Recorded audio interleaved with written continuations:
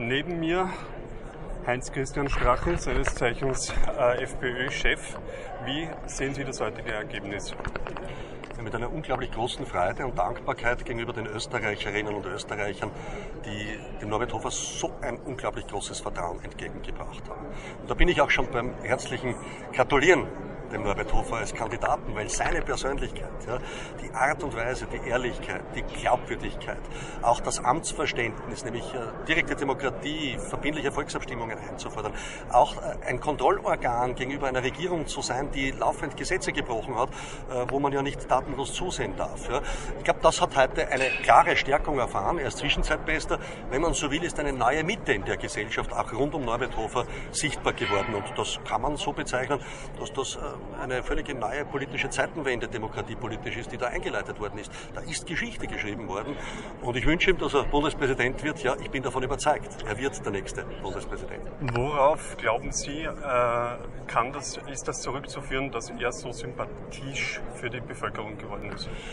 Naja, ich glaube, dass wir erlebt haben, dass gerade äh, in den letzten Monaten, seit dem letzten Sommer, aber immer mit einer weiteren Zuspitzung, diese Bundesregierung viele Notstandssituationen selbst verursacht hat. Im letzten Sommer weggehend mit Gesetzesbruch, einen Notstand mit über einer Million Menschen, die man rechtswidrig nach Österreich hereingelassen hat, ohne Passkontrollen, ohne Registrierungen. Ja. Äh, Notstandssituationen im Bereich einer Rekordarbeitslosigkeit oder einer Wirtschaftsflaute, auch im Bereich der Bildungspolitik.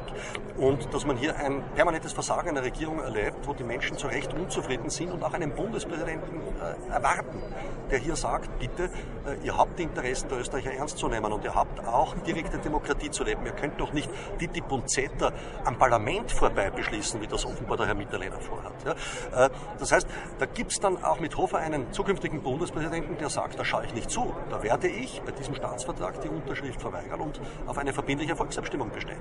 Und das ist gut so.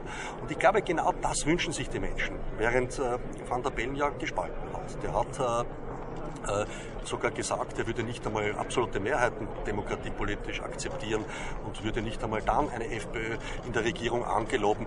Also das ist antidemokratisch und sowas wollen wir in dieser Zeit nicht mehr erleben. Antidemokratisch ist ein Thema. Man wirft der FPÖ immer vor, faschistisch zu sein von gewissen Seiten. Wie sehen Sie eigentlich die aktuelle Situation und werden Sie für die kommenden Nationalratswahlen, wann auch immer die sein werden, die Partei entsprechend jetzt anders aufstellen? Das ist ein absoluter Unsinn. Wir sind leidenschaftliche Antifaschisten. Ja. Wir sind leidenschaftliche freiheitsliebende Demokraten, die gegen jede Form von Faschismus auftreten. Äh, äh, meine, die neue Form des Faschismus ist ja heute eine Islamisierung, die wir erleben, ja, wo heute äh, die politischen Mitbewerber schweigen und wegsehen, wenn es da äh, eine Entwicklung gibt, die dramatisch ist. Aber jetzt müssen wir leider Gottes unterbrechen, weil gerade der Herr Innenminister da ist. Ja. Ich sehe schon. Danke vielmals Danke. fürs Gespräch. Danke. Gratulation. Danke.